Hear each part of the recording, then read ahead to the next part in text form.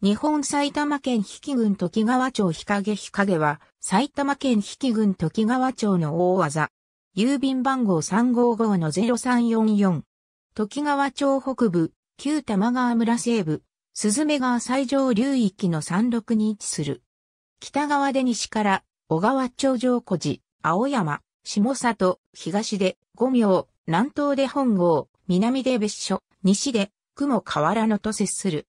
南西境に雷電山がそびえるスズメ川の源流地であり、流域にわずかな谷底平地を持つ。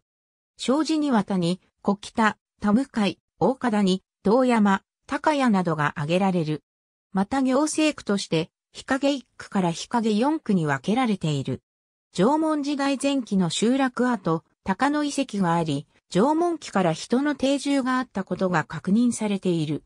和名類受賞においては、引き群と家境に属したとされる。古くは、大河原里、松山省、玉川領に属した。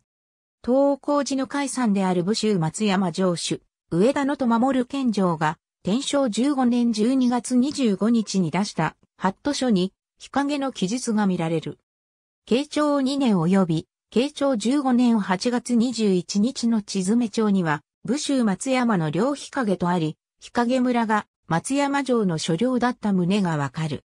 江戸期初めには、天領、東光寺領、新光寺領、明和元年より天領分が三強、清水家領となり、完成8年に天領に戻った。村高は、武蔵田園簿によれば213国余り、他に上船役営三巻900分、元禄号町では261国余り、天保号町では241国余り。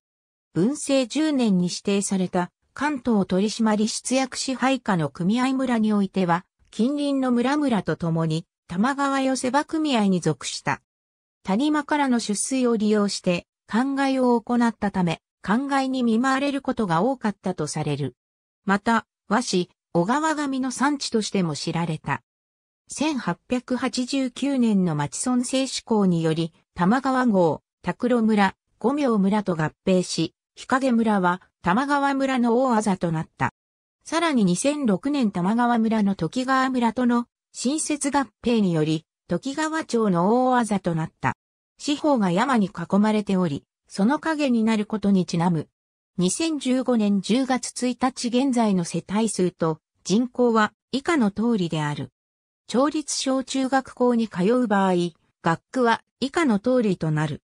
JR 東日本八高線が地内西側を南北に蛇行して通るが、駅は置かれていない。最寄り駅は JR 八高線、名里市駅、または JR 八高線、東武東上線小川町駅になり、バスの便が出ている。ありがとうございます。